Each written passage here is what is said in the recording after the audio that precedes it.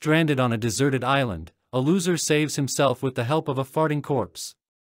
What is it if not insane luck? But not everything is so rosy. Finding himself on a deserted island, the main character attempts to hang himself.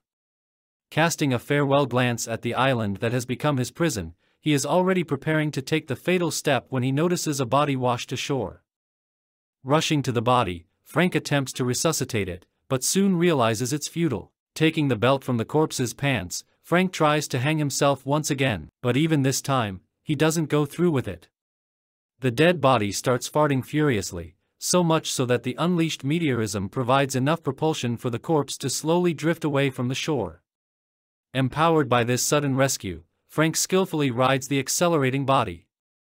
Like on a scooter, our hero floats away from the island on the farting corpse.